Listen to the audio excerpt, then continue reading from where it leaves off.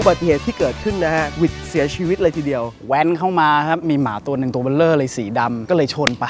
มือเละเลยครับ คือตรงเนี้ยเห็นข้อเลยครับหมึกหกเริ่มมุ้งมุ้งเละหมึกหมดมึกหกเลิกมึงมึงบกบกบก วันนี้ครับอยู่ในคู่แบตหยุดโลกนะครับ พร้อมแล้วเริ่มครับ